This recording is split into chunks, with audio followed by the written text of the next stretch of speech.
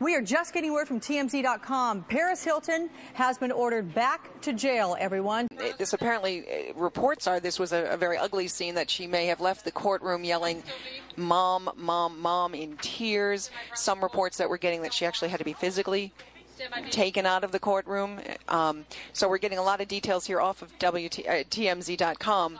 Uh, Yep. it, it sounds like it didn't go particularly well at all.